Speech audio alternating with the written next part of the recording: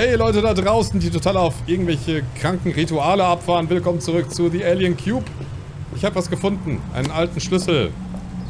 Hat ein bisschen gedauert, aber ich habe ihn gefunden. Oh, der funktioniert mit einer Art Mechanismus. Also die Tür. Wir gucken uns mal ein bisschen um. Aber schön, dass ihr wieder mit dabei seid bei diesem doch recht tollen Spiel. Okay, wir haben es jetzt aufgeschlossen. Ohne sichtbares Schloss. Ach, da oben. Vergiss es. Ja, und wir brauchen jetzt wahrscheinlich was, um das Kohlebecken oder die Kohlebecken anzuzünden. Wie sieht es denn hier aus? Äh. Äh, was ist das? Oh, sind das Streichhölzer? Ja. Gut. Dann können wir die Kohlebecken anzünden. Das Rätsel zu lösen wahrscheinlich. Ah, es ist hier die Kläranlage. Das sieht doch gut aus alles. Ja. so, ich muss mal kurz die Symbole durchgehen. Also, wir haben erst dieses G. Ja. Dann dieses, keine Ahnung, P. Dann das Pentagramm und dann das Z. Erstmal G. Zip. Oh, sieht ja sehr schön aus, das Feuer. So, dann das hier. Zip. Dann Pentagramm. Zip. Und dann das hier.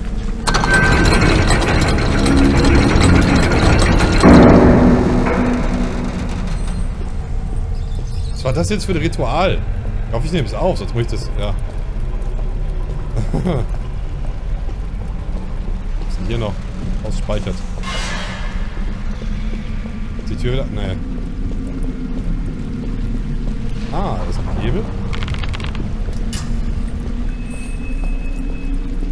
Klack.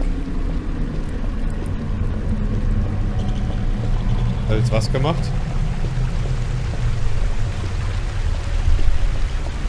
Drauf, hier ist noch ein Buch. Geschichte des Ordens. Man sagt, in längst vergangenen Tagen gelang es unseren Vorfahren dank vergessener Technologien, die Geheimnisse des Universums zu ergründen. Es war zu dieser Zeit, als die ersten Theorien zur Existenz der äußeren Welt aufkamen. Dieses unschätzbare Wissen ging verloren in den Nebeln der Zeit über Jahrtausende und beraubte die Menschheit seiner größten Entdeckung. Dann kam es zum Ereignis und Gottes Auge wurde uns überlassen.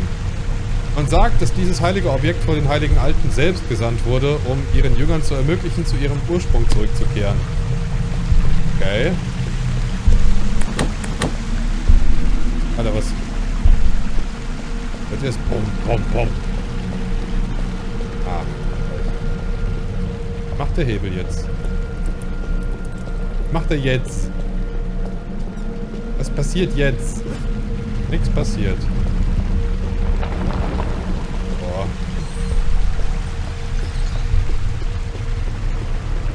Weiß nicht, ob der Hebel für irgendwas gut war.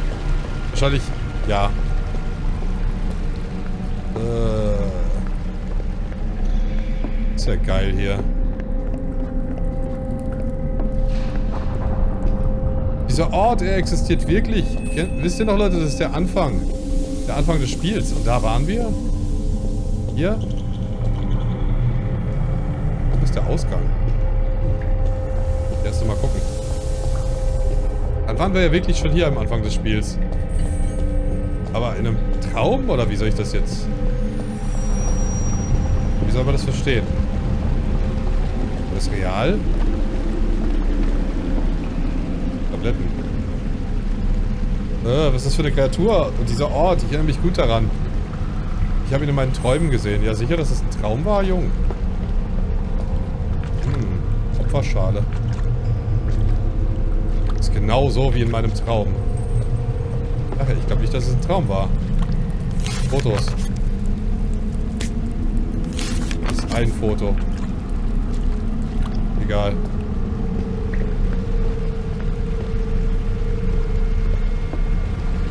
Geh mal lieber.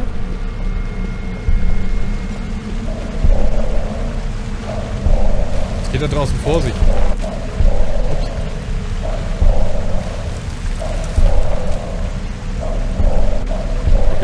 normal, wenn man das abbricht, dass es dann so rüber zuckelt. So, ne?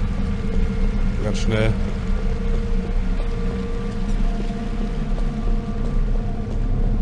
Uh, ich find's erschreckend. Bisschen erschreckend, doch. Ich wollte ja nicht sein. Also in echt. Nee. Ja, wir sind frei. So ein bisschen. Oh, guck mal, wie schön. Die haben uns extra Kerzen hingestellt, dass uns die ja nicht verlaufen diesmal. Alles ja toll. Das ist ja super. Guck mal, so schön mit Zäunchen hier und alles. Voll idyllisch.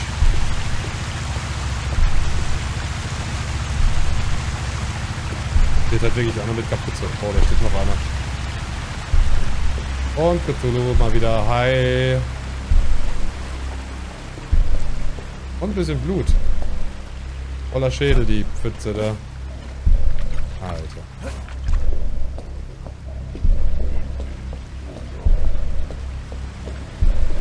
Die wissen nicht, dass ich da bin. Da sind die echt blind, ne?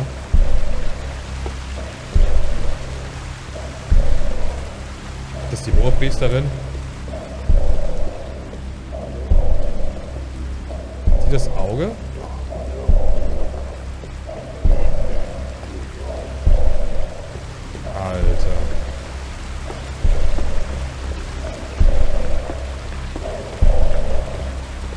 Das ist so einen ekelhaften...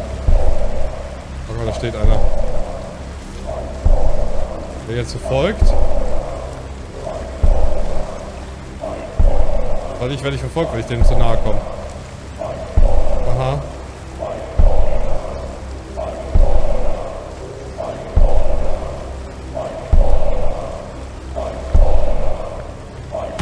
Oh! Nee, das ist das Auge. Ich kann nicht wechseln. What the fuck?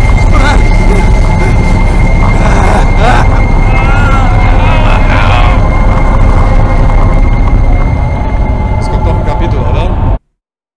Die Wahrheit, Kapitel 8. Das ist der Wahrheit. Was für eine Wahrheit? Ihr habt doch schon gesehen, was hier vor sich geht. Kinder.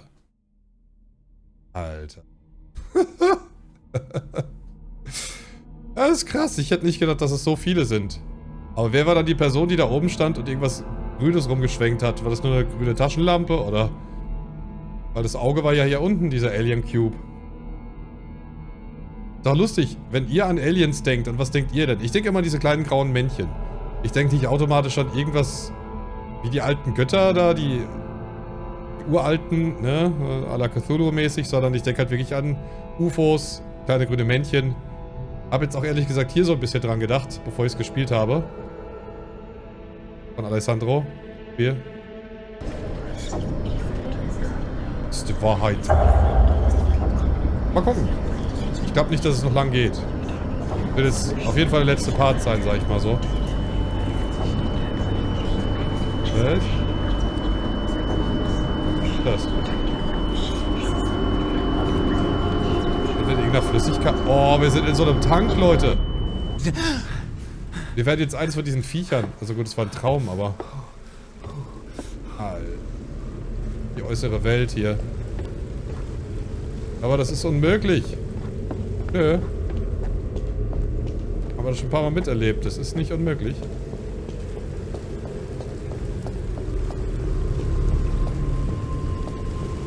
Darüber. Schade, ich hätte mal probieren sollen, was passiert, wenn ich dem entgegenlaufe, dem Typ. Nee, da geht's nicht weiter. Ich jogge doch mal ein bisschen gemütlich zurück. Es ist auf jeden Fall alles anders hier. Tagebuch eines Mitglieds des Ordens. Das Ritual ist vollendet, aber der Übergang war schwerer, als wir dachten. Abgesehen davon sind wir endlich hier in der äußeren Welt. Viele von uns haben nicht überlebt, andere drehen durch. Dieser Ort ist mit unserem schwachen Verstand nicht zu begreifen. Mein Verstand ist kaum klar genug, diese Zeilen zu schreiben. Wir haben uns hierauf vorbereitet, aber es war nicht genug. Verdammt, mein Kopf. Ich fühle mich, als würde ich zugleich von einer verzerrten Form zwischen Realität und dem, was in meinen Gedanken ist, leben. Was sehe ich wirklich? Ich kann nicht zwischen meinem Gedanken und dem, was meine Augen sehen, unterscheiden. Alles hier ist unbeschreiblich. Wir müssen versuchen, weiterzugehen. Die heiligen Alten erwarten uns. Ja. Was machen sie dann mit euch? Sie werden euch in der Luft zerreißen wahrscheinlich. Weil ihr seid nichtig und ihr seid einfach nur Staub. Violett ist mal was Neues, du. Das ist halt genauso blöd, dass man nicht sieht, wo es hingeht. Das Ist wieder so ein Teleporter wie der, der uns in unsere Welt geführt hat letztes Mal.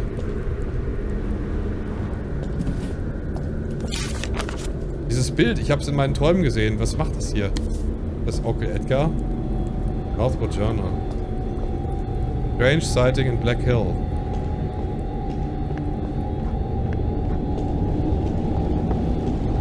Ah. Was stimmt hier nicht von der Perspektive?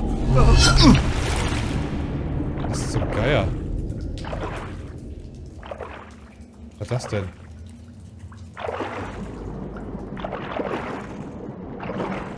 Ist, stimmt hier einiges nicht. Die, die ganze Gravitation ist, also nicht die Gravitation, aber es ist irgendwie... Von der Architektur ist alles total komisch. Überhaupt richtig.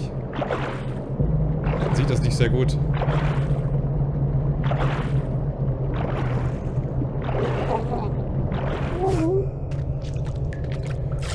Scheiße. Jetzt schon wieder gelandet. Lass mich jetzt durchschwimmen oder was? Ich setze mich in mein Boot und mach gar nichts mehr jetzt. Aber der Part ist ja noch nicht vorbei. Schade. Irgendwas riesiges. Ah. Der Rotzschlotz, die da rumhängt. Da raus? Ne, ich kann nicht mehr raus. Würde ich immer auf eine Kante hochlaufen, also auf eine Schräge und kann sich ja nirgendwo hochziehen, der Kerl.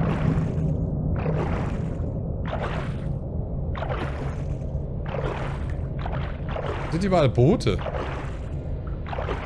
Sehe ich nicht so ganz. Er schwimmt halt echt wie so ein Torpedo, ne? Unglaublich. Tagebuch. Oh Gott, es fühlt sich an, als würde mein Kopf explodieren. Wenn wir doch nur einen Weg ausmachen könnten. Wir müssen zusammenbleiben und diese Phase bewältigen oder wir laufen Gefahr, hier für immer festzusitzen. Gefangenen, äh, gefangen in unseren eigenen Gedanken. Aber ich bin mir sicher, ich schaffe das. Ich hatte eine deutliche Vision von meiner Zukunft.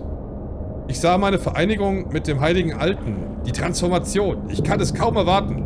Die Heiligen Alten sind nah und sie rufen uns. Ich kann es spüren. Ich weiß aber noch nicht so ganz, ob das passiert oder ob ihr einfach nur sterbt die einfach nur Spaß daran haben, euch... Oh, das ist die Wohnung. is not possible. Jetzt... Ah. Sag das doch nicht immer. Du weißt doch, dass hier alles möglich ist. Ich sag, wir sind in einem der Behälter. Wir werden jetzt gerade transformiert. Vielleicht schon von Anfang an. Deswegen haben wir diese Visionen.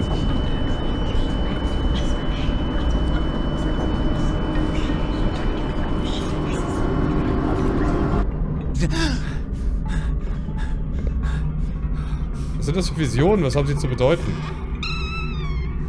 Ja, ich sag doch, das ist alles... Oh. Ne, da gehe ich jetzt nicht runter. Das. Alone. Leave Britney. Jesus.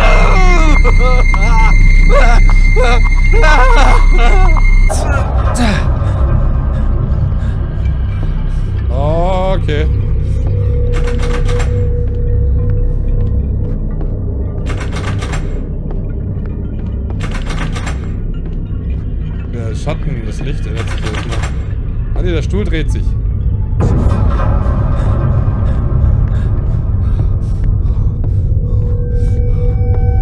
Das ist seltsam.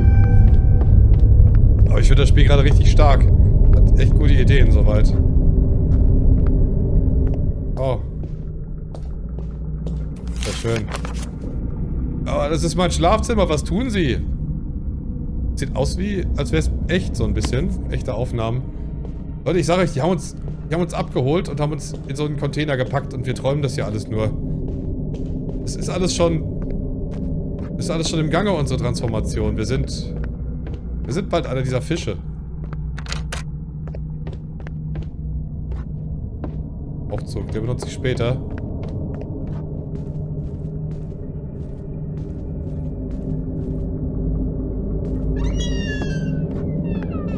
This can't be.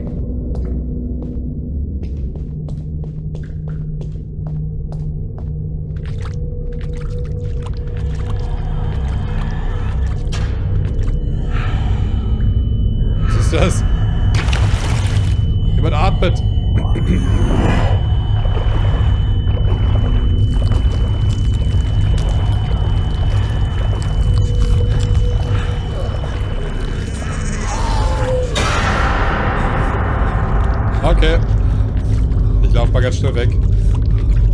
Da ist gar nichts. Ding ist weg.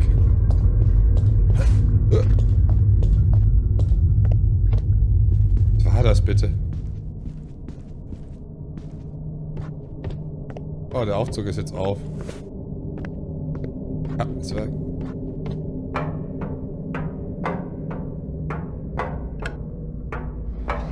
Welcher Stock ist ja auch egal.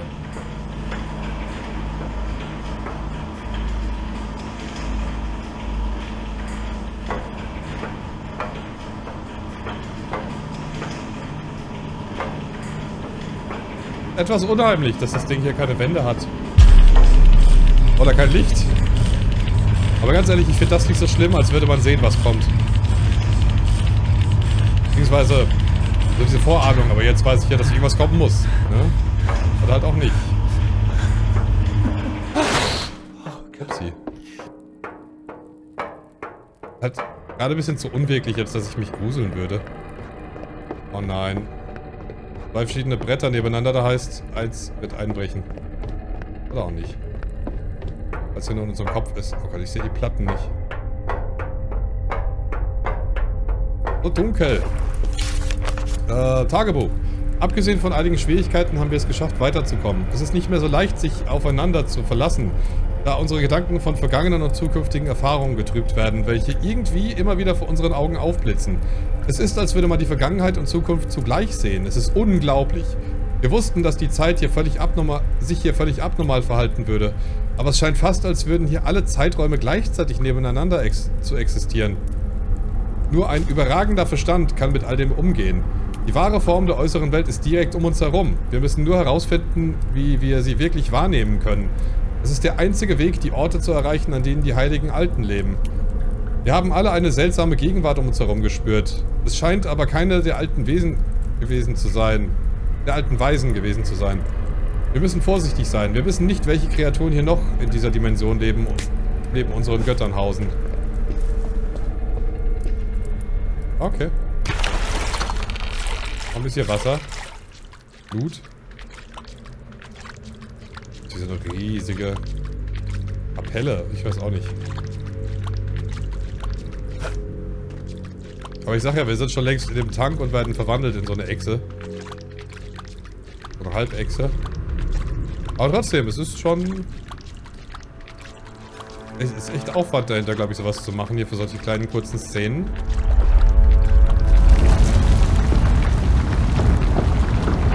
Das ist eine Brücke. Sah aus wie ein...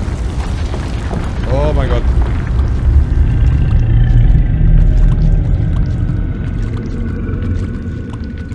Könnte auch ein riesiger Bogen sein für ein weiß auch nicht, was das für einen Sinn erfüllt. Von der obere Teil sieht aus wie eine Brücke, das, aber so sieht es aus wie ein riesiges Tor einfach nur. Ein Rohbau aus Holz. Das ist creepy hier. Ein Auto.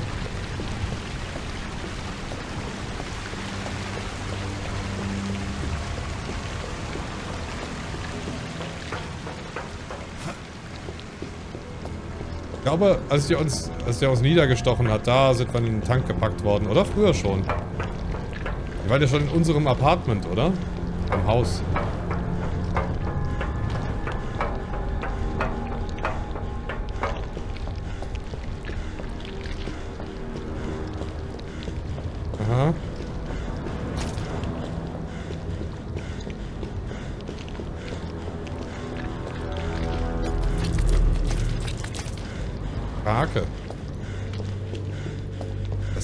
Gerade so ein bisschen, ne? Ich habe ja gesagt, dieser Part ist der letzte. Ich hoffe nicht, dass ich jetzt Lügen erzähle hier. Au. Mein Gesicht blutet. Meine Augen. Er schnauft zumindest schon mal. Also unendlich kann er wohl doch auch noch sprinten, aber er schnauft. Riesige Pipelines. So ein bisschen was aus dem Freddy Krueger Albtraum hier, oder? In Filmen. Oh, bewegen sich die Tentakel? Pulsieren zumindest. Jo. Eindeutig, wir sind in Japan. Wollte gar nicht springen. Okay, ich war die ganze Zeit auf der Leertaste, merke ich gerade, habe ich sie losgelassen. So ein bisschen habe ich die gedrückt anscheinend. Ah, nicht schon wieder.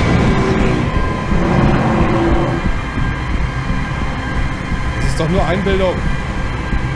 Warum sollte uns hier jemand verfolgen? Wir sind doch längst schon gefangen genommen.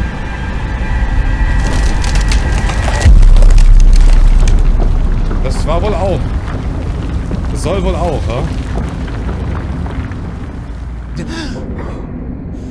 Oh yay, wir sind irgendwo.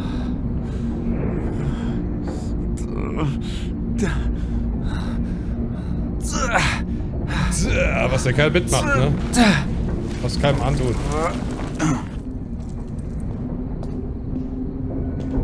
Oh, dieser Ort, ich kenne ihn.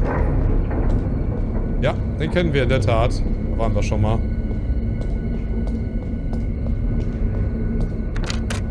Warum sind wir jetzt wieder hier? Ich sag ja, vielleicht waren wir die ganze Zeit hier. Das sind alles nur Erinnerungen von dem, dass wir schon mal da waren. Oh. Er schreibt schon in der alten Schrift. Deta, wir sind in dem Tank. Wir verwandeln uns in so ein Tentakelviech. Ich sag's euch. Ich sag's euch. Wir sind schon nicht mehr menschlich, deswegen kann er schon die menschliche Sprache nicht mehr anscheinend. Oder er schreibt zumindest nicht mehr wie Mensch. Ne, da gehe ich jetzt glaube ich nicht runter. Machen wir mal nicht.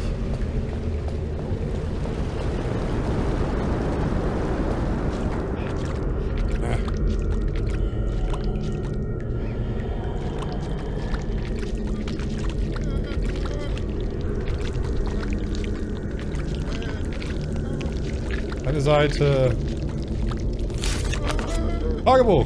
Wir lernen, mit den Visionen umzugehen und darin zu unterscheiden, was unsere Augen wirklich sehen. Wir haben einen riesigen Bau erreicht, der, wie es scheint, von den Wächtern beaufsichtigt wird. Unter dem Befehl der Heiligen Alten. Das hier muss der Ort sein, in dem all die Leute aus unserer Welt gebracht und festgehalten werden, um auf ihr endgültiges Urteil warten. Nur diejenigen, in dessen Adern das Blut der Heiligen Alten fließt, werden für die letzte Transformation auserwählt. Nur so ist es uns möglich, Teil von ihnen zu werden. Wir haben unsere Leben dem Erreichen dieses Ziels gewidmet. Wir werden auserwählt werden und unsere Körper werden sich mit den Heiligen Alten vereinigen.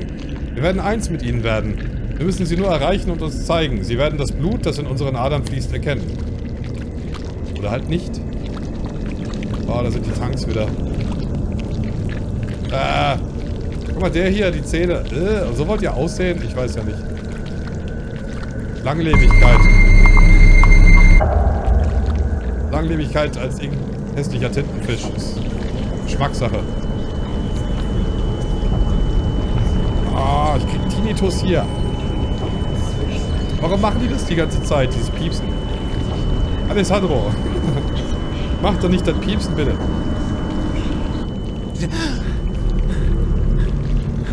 Ja. Okay.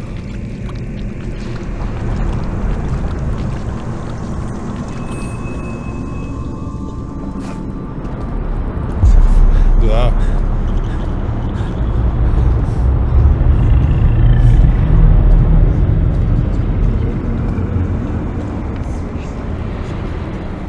Oder das ist vielleicht eine Vision von Edgar, dass der da eingespannt ist. Alter. Arthur.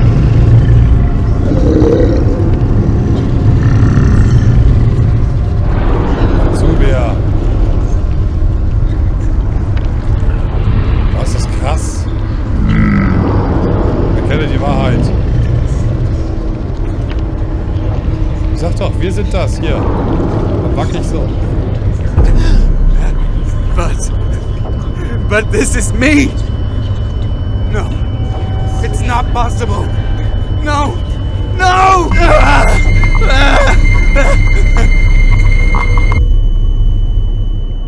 Ja, wer weiß, wie lange wir da schon drin sind, aber wir sind einer der Alten, ja? Offensichtlich. Also wir haben das Blut von den Alten in uns.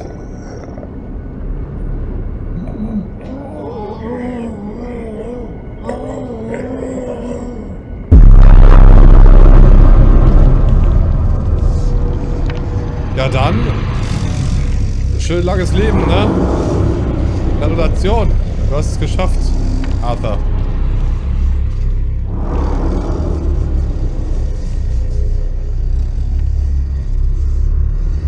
Okay, also so wie jetzt gerade dargestellt wurde, How long have I been here? finde ich total geil. What am I really? Ein Fisch. Die Alien Cube. Das war's. Finde ich gut. Es, hat ein offenes Ende und nicht irgendwie so, oh, ich bringe mich jetzt noch um, weil, ne? Zwei von acht Geheimnissen nur. Okay. Ja gut, ich meine, Alessandro Guzzo hat's gemacht. Dankeschön, Alessandro. English Translation, Francesca, English German, Bettina Pritz und so weiter, French, Russian Voice, Ryan Lafton. Hat er gut gemacht, finde ich. Ja. Schön, Leute. Das war's. Ja, folgt ihm auf Twitter, gut so Prods. Ich mache das auf jeden Fall noch, habe ich noch gar nicht gemacht. Ja, und The Land of Pain auf Steam. Er hat erst zwei Spiele gemacht und ich finde, das ist für ein zweites Spiel schon richtig stark. Also kann man nicht meckern. Hat mir sehr viel Freude gemacht, weil es halt auch recht kurz, aber ich habe es ja auch nicht anders erwartet, habe ich ja schon gesagt. Ich habe sogar mal gesagt, für ein Spiel und für solch ein Spiel ist es doch recht lang schon. Das waren jetzt dreieinhalb, vier Stunden, keine Ahnung. Ja, zieht's euch mal rein, kauft's euch vielleicht gerne noch, um den zu unterstützen, den guten Mann.